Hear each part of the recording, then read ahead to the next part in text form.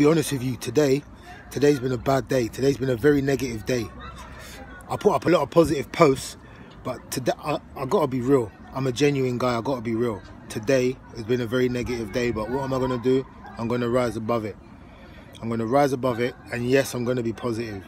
Yes, I'm gonna take the positives out of my negatives. You know, like when you try and do something and it just don't go to plan. Like you, anything you do, it just it just don't work. it don't work. So yeah, just try and be positive.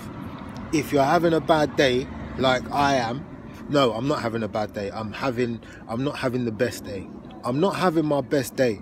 But what am I going to do? I'm going to rise above it. If you're having a bad day, or if you're having, sorry, a negative day, or your day's not going how you want it, don't worry. Keep going. It will come. It will come and it will be cool.